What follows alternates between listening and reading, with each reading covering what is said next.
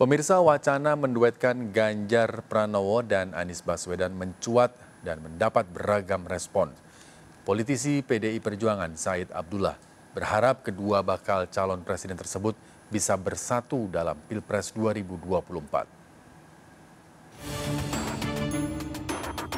Wacana duet Ganjar Pranowo dan Anies Baswedan diembuskan salah seorang ketua DPP PD Perjuangan Said Abdullah. Said berharap kedua bakal capres tersebut bisa bersatu dalam Pilpres 2024. Ganjar dan Anies tidak menunjukkan sinyal penolakan terhadap diskursus berduet di Pilpres 2024. Ganjar misalnya menyambut baik opsi tersebut.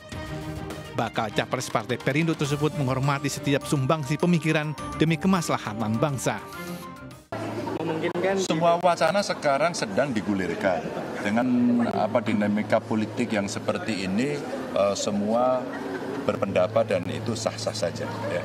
Saya sih menghormati seluruh pendapat orang. Sejumlah pengamat politik menilai duet Ganjar dan Anies bisa menjadi poros alternatif dan berpotensi menjelma menjadi kekuatan besar.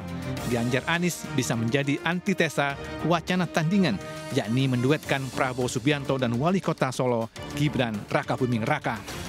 Dari Semarang, Jawa Tengah, Putu Bagus dan M. Khairuddin melaporkan.